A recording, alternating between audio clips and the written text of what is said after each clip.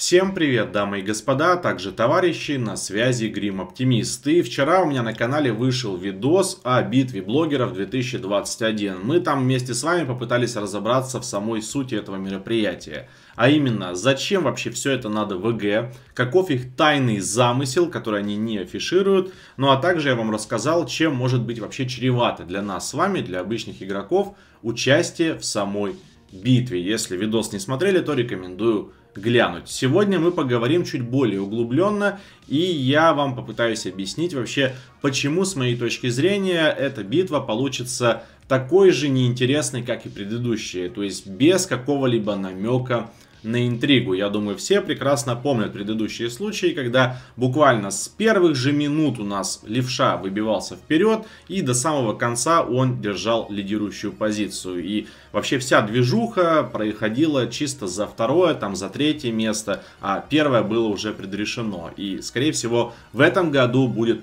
также, потому что ВГ на ошибках не учится. Давайте поговорим об этом чуть более подробно. Но перед этим очень полезная и интересная инфа. Если помните, в том году или даже два года назад было очень много критики из-за того, что игроки имели возможность вступить в любую команду на протяжении практически всей битвы блогеров. Лишь только, по-моему, там за три дня до конца э, разработчики уже запретили куда-либо вступать. То есть большую часть мероприятия любой игрок мог вступить куда угодно. Поначалу там, конечно, был вообще лютый зашквар, когда даже показывалась статистика, то есть игрок заходит, например, он ну до этого не играл или вообще не особо в теме, ему говорят, что вот битва блогеров, смотри, вот этот на первом месте, этот на втором, этот на третьем, давай, братюня, решай за кого вступать. Конечно же, все начали вступать за победителя.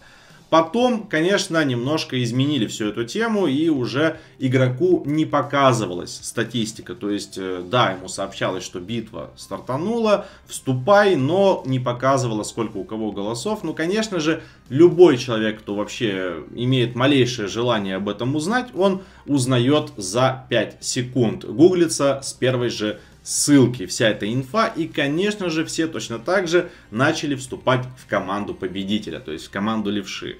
Ну, это касается тех людей, кто не поддерживает какого-то конкретного блогера, просто хочет именно победить. И, к сожалению, друзья, в этот раз, ну, точно такая же хрень происходит. То есть, опять Wargaming не прислушались к критике, они не стали ничего толком менять, и вступать в команду можно с 29 января по 5 февраля, то есть буквально за 3 дня до конца движухи. Это означает, что многие предприимчивые ребятки, они, конечно же, подождут денек-другой, посмотрят, кто вырвется на первые позиции, да, и, конечно же, начнет опять вступать в команду победителя.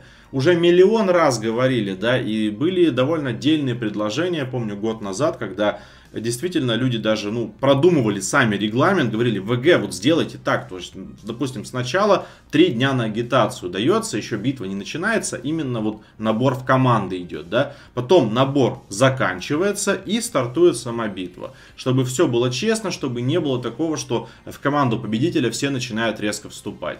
Но, к сожалению, никто никого не послушал, и мы имеем то, что имеем. Я, конечно, понимаю, почему ВГ не стали прислушиваться к этой критике и делать, как их попросили, потому что, ну, в таком случае охват будет меньше, потому что, ну, вы должны понимать, что не все игроки там каждый день заходят в клиент, кто-то может быть в отпуске, кто-то там болеет, еще что-нибудь, да. И если какой-нибудь игрок зайдет, например, чуть позже, чем э, этап набора, да, то уже, получается, не смог бы он поучаствовать. Но, знаете, зато это дало бы действительно честную битву. А не вот эти вот э, побегушки, да, еще не определившихся игроков э, в команду победителя. И пофиг, кто там левша или юша или корбен, неважно. Главное, что, о, он лидирует, дай-ка я туда вступлю. И я гарантирую, что будет именно так, поэтому решающую роль, как и всегда, будут играть именно первые часы битвы блогеров. Ну, по крайней мере, первые полдня.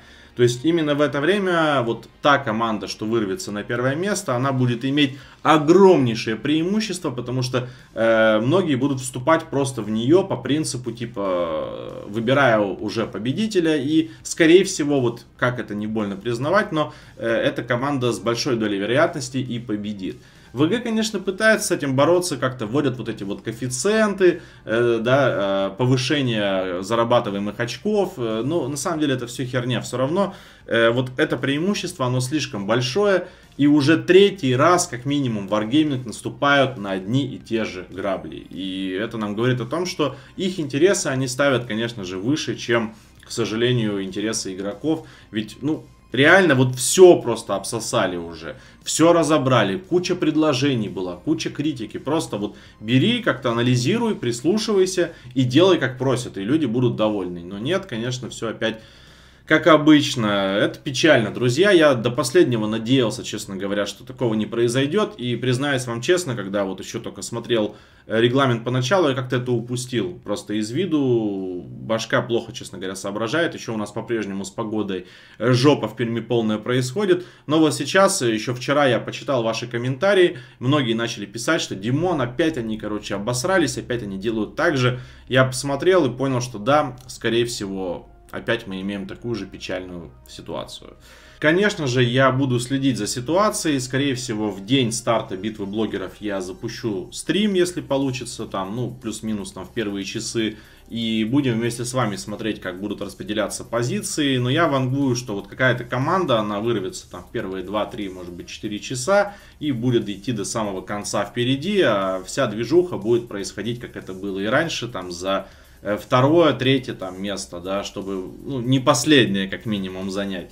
Вот, э, скорее всего, так, ребята, и будет. И это очень печально, потому что все хотят увидеть именно соперничество, да, чтобы ожесточенные битвы за первое место. Еще желательно, чтобы лидерство перетекало от одной команды к другой, да, и игроки пытались как-то выбить вот эту вот лидирующую позицию, и это было бы действительно интересно. Очень, ребят, сомневаюсь, что так получится, к сожалению. Вот э, могло получиться все нормально, но ВГ не прислушиваются, упорно не хотят делать, как советуют им игроки. Ну, согласитесь, советы реально отдельные, и можно было сделать по-настоящему что-то интересное. Ну, возможно, я ошибаюсь, ребята, как говорится, раз в год и палка стреляет, а вдруг получится, но я сомневаюсь. Пишите в комментариях обязательно, как вы считаете, все-таки будет какое-то соперничество, да, или опять получим уже привычную нам ситуевину. На этом на сегодня все, друзья. Спасибо за внимание. Подписывайтесь на канал. Обязательно проставляйте пальцы вверх. Напоминаю, что если вам интересен новый пакет Twitch Prime, то в закрепленный комментарий переходите, и там будет вся информация. Всем до скорого и всем пока.